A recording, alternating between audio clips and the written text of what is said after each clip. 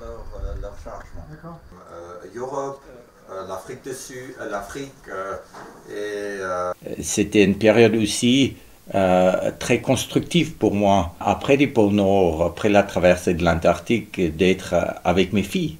Euh, c'est des moments qu'on n'a jamais eu de notre vie.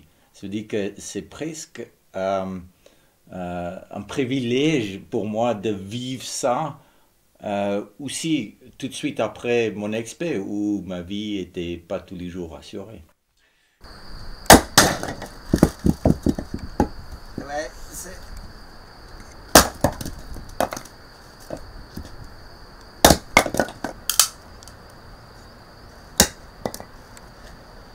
ça me donnait ces, ces moments de dire que, écoute Mike, peut-être aussi à ton âge maintenant, tu dois commencer de changer ta vie. Tu, dois faire quelque chose de différemment.